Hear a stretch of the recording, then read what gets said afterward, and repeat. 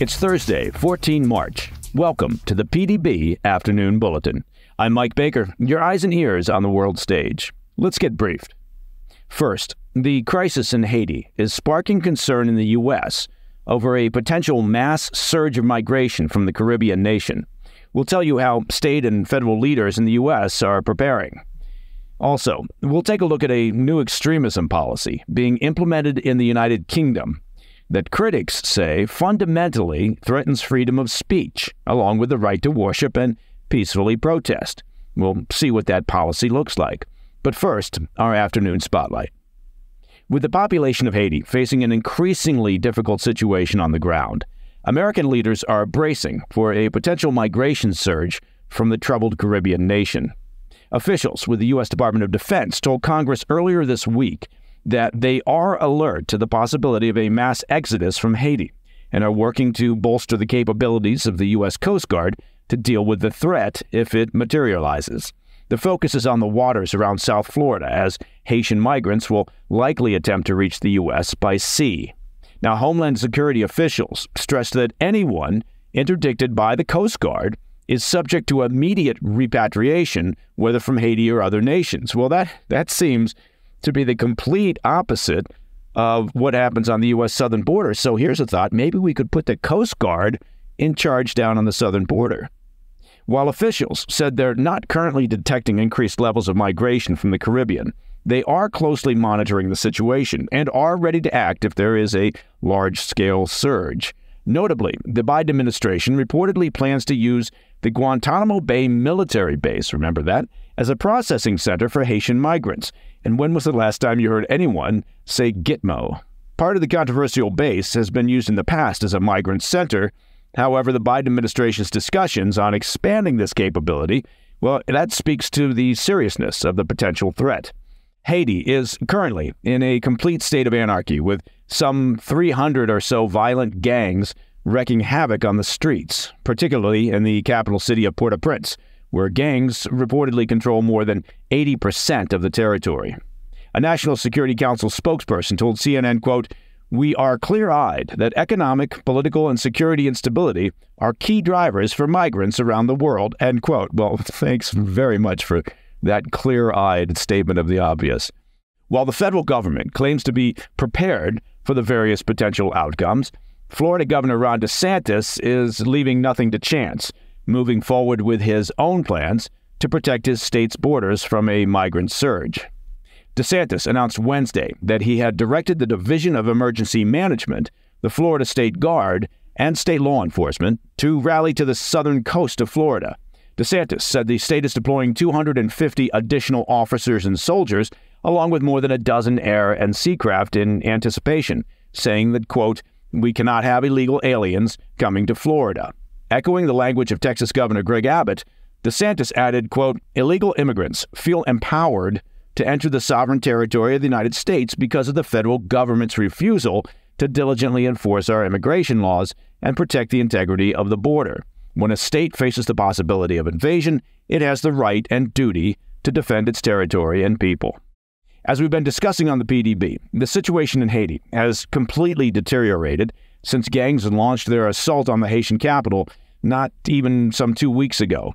Marooned Haitian Prime Minister Ariel Henry announced from Puerto Rico on Monday that he will tender his resignation in favor of a transitional governing council that will attempt to bring some stability back to the troubled nation. With hundreds of thousands, possibly into the millions, facing the threat of famine and continued violence, it's likely only a matter of time before the population begins to flee. Coming up after the break, we'll take a look at a new extremism policy being implemented in the United Kingdom that critics say will fundamentally erode basic civil liberties. I'll be right back. Welcome back to the Afternoon Bulletin.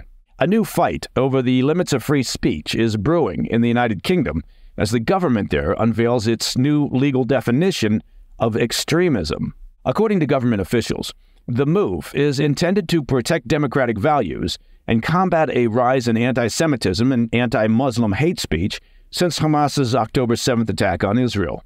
But critics say that the revised label may compromise the rights to free speech and religious practice, potentially leading to discrimination against certain groups, such as Muslims and fringe political ideologies.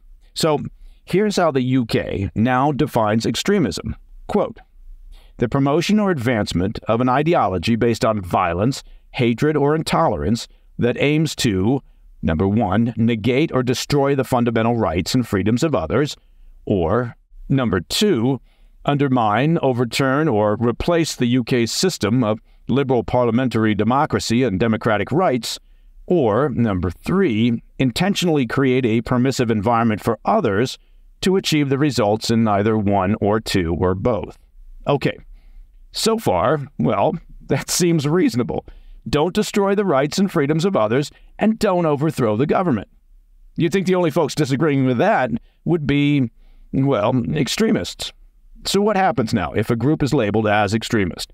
Well, the new definition isn't statutory. People can't be held criminally liable for being part of an extremist organization under this definition.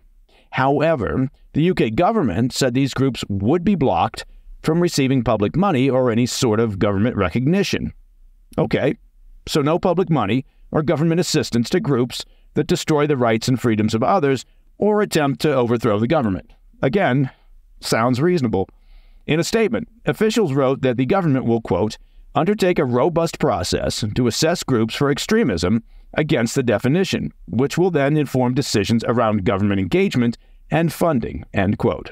The government has already named a number of organizations that face blacklist under the new definition, and they include the British National Socialist Movement, a neo Nazi organization, and the Muslim Association of Britain, which is the UK affiliate of the Muslim Brotherhood. Opposition to this new definition has created some strange bedfellows, drawing criticism from the Church of England, Muslim groups, and far right political groups. Yeah, look, there's not a, a bed big enough for all those folks to climb into and get together and be called bedfellows. The archbishops of Canterbury and York said in a statement that the new definition, quote, not only inadvertently threatens freedom of speech, but also the right to worship and peaceful protest, things that have been hard won and form the fabric of a civilized society, end quote. Now, the definition of extremism doesn't prohibit peaceful protest or the right to worship. So the church, the Muslim Brotherhood, and the neo Nazis seem to think that this would just be the first step towards other laws that could infringe. God forbid anybody infringes on the neo Nazis or Muslim Brotherhood. I suspect that God is already infringing on the church, so so there's that. Anyway, this is one of those stories where I'd love to hear your thoughts. What do you think about the UK's new definition of extremism? Is it necessary to combat a rise in extremist rhetoric, or is this just an excuse for the government to crack down on free speech? Email me your thoughts at pdb at thefirsttv.com. And that, my friends, is the PDB Afternoon Bulletin for Thursday, 14 March. If you have any questions or comments, please reach out to me at pdb at thefirsttv.com. And be sure to check out our new premium membership at pdbpremium.com. I'm Mike Baker, and I'll be back tomorrow. And until then, stay informed, stay safe, stay cool.